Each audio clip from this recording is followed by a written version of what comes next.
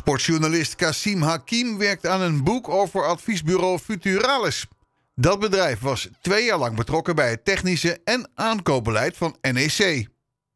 Uh, na een gesprek van vier uur op kantoor bij Futuralis kwamen we tot de conclusie dat we, dat we wel iets samen wilden doen. Een boek maken over Futuralis. En, en wat er nou allemaal precies gebeurt in die voetbalwereld. En dan moet je niet denken aan een moddergevecht uh, tussen NEC en Futuralis. Maar meer aan uh, hoe processen eraan toe gaan. Maar dan wel op een manier beschreven dat het niet stoffig is. Ik ben erachter gekomen dat het dus geen zakkenvullers zijn en uh, makelaartjes. Maar dat er veel meer achter zit. Anders heb je ook niet zoveel succes. Uh, natuurlijk, je moet ook kritisch blijven. Dat doe ik ook. En uh, dat kan ook bij Roderick van Kerkhoff. Het is heel open met alles. Er wordt geen moddergevecht. Er zijn wel bepaalde zaken van transfers die, die gebeurd zijn daar.